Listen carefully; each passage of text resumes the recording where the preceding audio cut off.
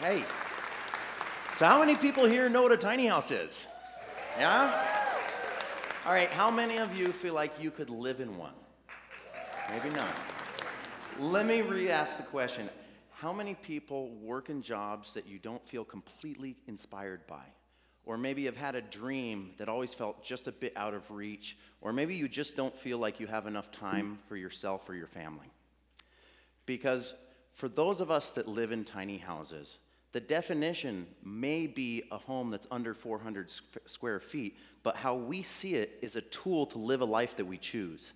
It's a tool that we use to avoid the financial traps that leave so many people treading water. And once you put your need for space up against your need to achieve your dreams, the actual relevance of a tiny house it becomes much more apparent. See, my dream was never to be on television. My dream was to be a professional skier. And when I was in my early 20s, I had this moment where I felt that dream escaping me, and I knew that I needed to make a big shift in my life if I was going to actually make it happen. And so what I did was I actually bought a motorhome, and I fixed it up with everything I had, and I took a job, a minimum wage job, four states away in a place that I didn't know anyone, and went out on this kind of big journey to pursue the dream. And the crazy thing was, it happened. And I actually spent my late 20s and my early 30s traveling the world, getting paid to ski, you know, rubbing elbows with my heroes. And that sense of satisfaction, that gratification that came with it, was so profound, I know that it's going to last with me for the rest of my life.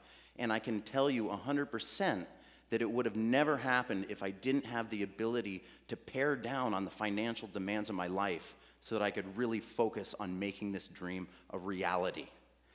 So, in 2011, I built my first tiny home. And shortly after, I read a book by a hero of mine and a visionary person named Jay Shafer. And in the book, he talked about how the auto industry had actually gone through this process where they were confronted with the need to affect the efficiency of the vehicles.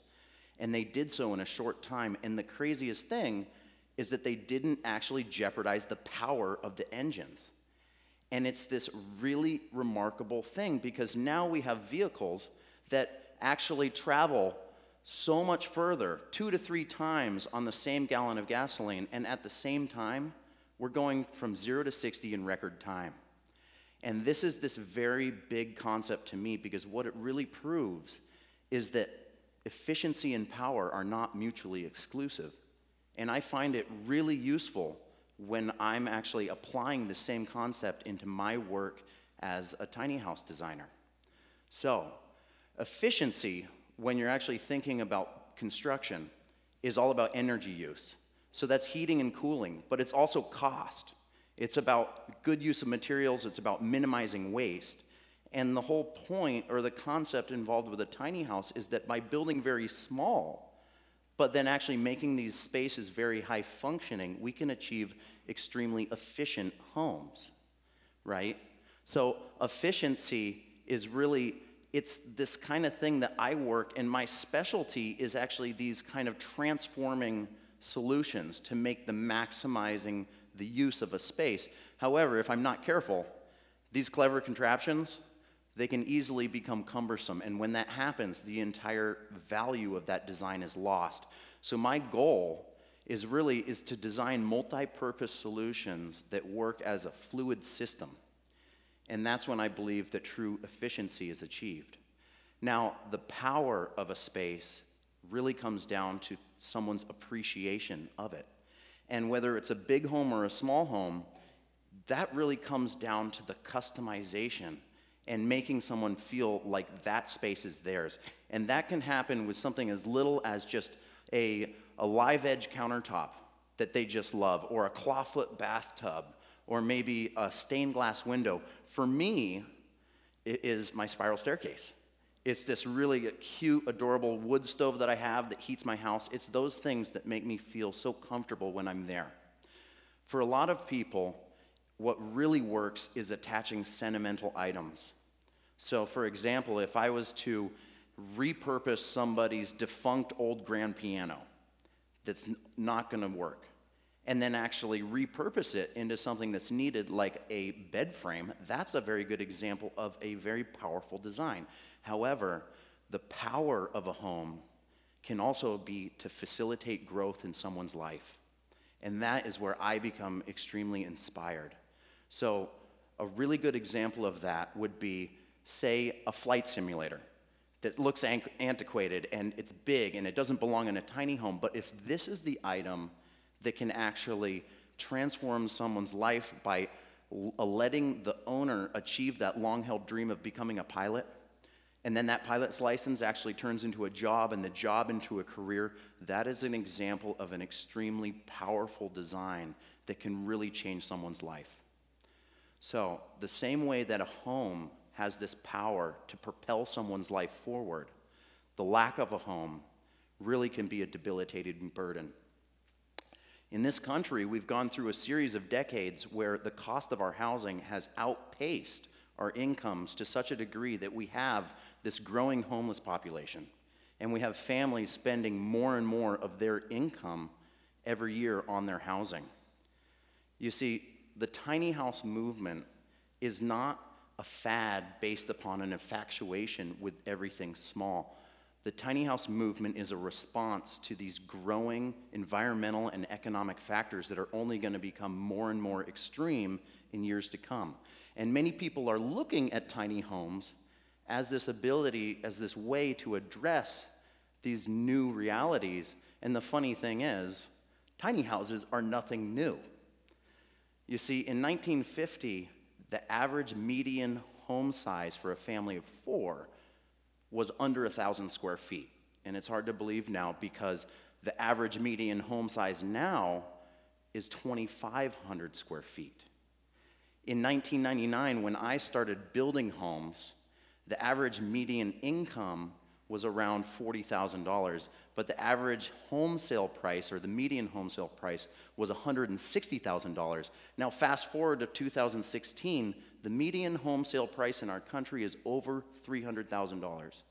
And that's an increase of 93% in 17 years. So, what that really means is that the cost of our housing has been outpacing the gains in our income by three times over this period. And if you actually factor in inflation, the median average wage in this country has actually gone down by 2.5% during that time. And this is the first time in modern history in America where our wages have stayed stagnant for a decade. And now it's been over two. So, how did this happen? Well, I'll tell you a story. When I first started building tiny homes, or not tiny homes, big homes, in the early 2000s, we were doing major remodels. And almost entirely, we were doing them for couples who had already raised their family in a much more modest home. And what they were doing is they were using the, the equity that had appreciated over the years to reinvest in their home, doubling the square footage, and actually, right at the moment where their need for the space was the least. And they weren't doing it because of their need for the space, they were doing it entirely based upon this idea that their house was going to be a retirement plan. It was an investment. And the problem is when enough people start looking at real estate strictly as an investment, is it turns into a self-perpetuating cycle. So the appreciation of our housing is completely dependent on the demand but that demand is completely dependent on the expectation of appreciation. So, what it's done is it's taking a larger and larger portion of our country's net worth and actually channeled it into real estate, which is a highly fluctuating asset and has left us exposed as a country to housing downturns. And we felt the broad ripple effects in 2008 when we had a bubble that burst. And what we did was to mitigate the recession as well as also try to boost the economy back up and incur a recovery, we lowered our interest rates. You see, that's the tool that we use to actually start to incentivize purchasing and borrowing of housing. And what's happened is we actually, it was very successful. It was a terrific thing. And the appreciation of our houses have gained right back to the same point where we, we were right before the bubble burst in 2007. The only problem with that is that our wages haven't increased. And now we've actually lost the ability of our, our most effective financial tool to mitigate any future adjustment because our interest rates are still as low as they can go. We can't lower them anymore. And we already know that we have eight to 10,000 people per day entering retirement age. And the question that we have to ask ourselves is what's going to happen when the baby boomers go to cash in on their retirement plan? Who's going to absorb these homes? You see, there's a number of worrisome factors when thinking about who is going to absorb the homes from retirees because today in the economy, although the employment numbers are good, the wages are down. Plus, younger generations are actually coming out of college with unprecedented levels of student loan debt. That is not percent, actually, that is number in billions there on the left. And right now we're at 1.3 trillion. So that's a really big issue because on top of that, attitudes are shifting. You know, family sizes are smaller, people are moving around a lot more, and there's this big trend to moving away from the suburbs and into our city centers. And the bottom line is when the baby boomers go to cash in on retirement plans, there's a very good chance that they're going to be faced with the reality that younger generations are in no position to afford these large homes and are no longer interested in a large home in the suburbs. Now, I know this sounds like a very grave scenario, but I'm not here to give you a presentation about doom and gloom.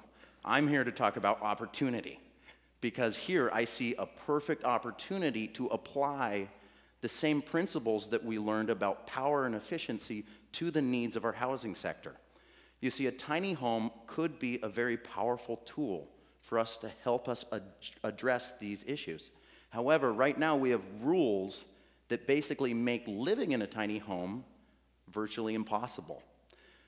The reality is, is the hardest part about living in a tiny home is not how you pare down your shoe collection, contrary to popular belief. The hardest part is navigating building codes and zoning requirements that really limit their creation. So, there is an issue going on, and people definitely recognize that this is an issue. So, in 2016, I was part of a delegation that actually successfully articulated the need to readjust and amend our building codes to accommodate for tiny houses. And in 2018, those amendments will be implemented, and now it's up to the local municipalities to adopt those recommendations. However, the harder part facing tiny homes is convincing zoning officials to actually permit tiny homes into the community.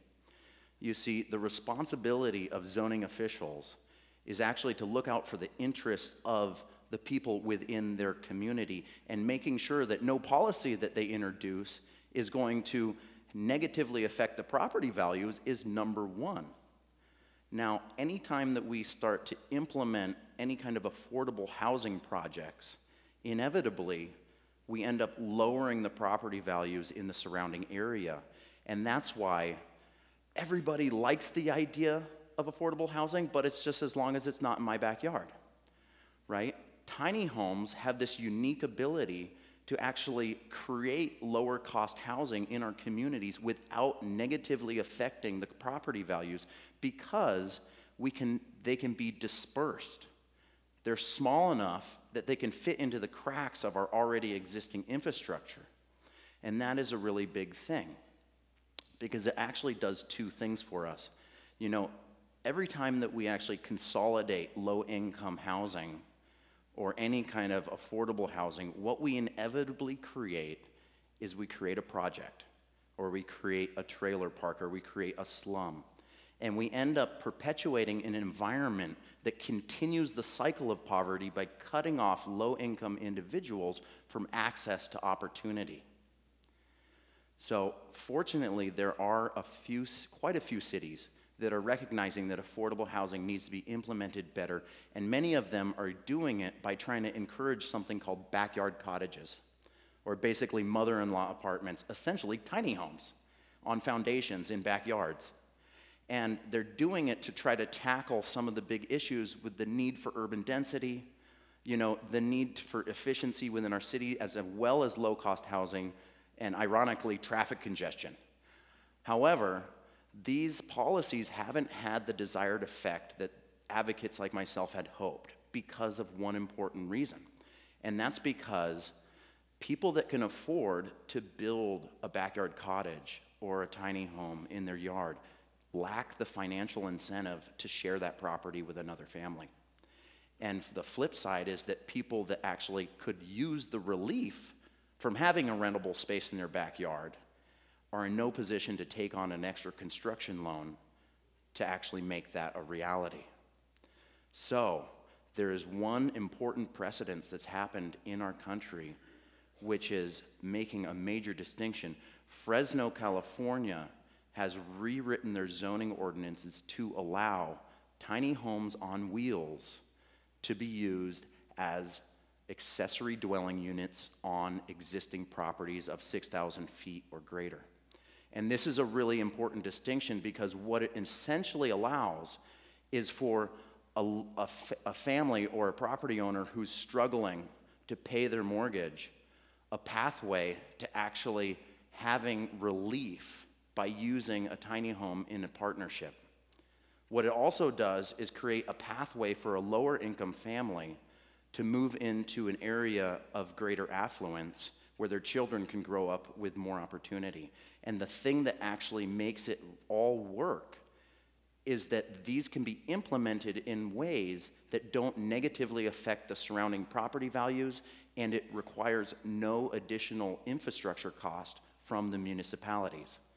See, I think that we all want to live, or we all want cities that have space for our school teachers, our police officers, the firemen, the carpenters, the artists, and the musicians, because that actually elevates the quality of life for everyone in the community. And if a tiny house can be a tool that we can use to address the needs of expanded affordable housing, as well as providing a pathway for struggling homeowners to avoid foreclosure and actually address their issues in a different way than selling their property. This is a very powerful tool. It's a win win scenario, and in my world, that is the hallmark of good design. You see, tiny home movement and the tiny house movement continues to grow despite major hurdles in legality because tiny houses are not a fad. Tiny houses are a response to this growing set of economic and environmental factors in our country. And the reality is, we all have incentive right now to start looking for all the tools available to us to address the needs of a changing world. Thank you very much.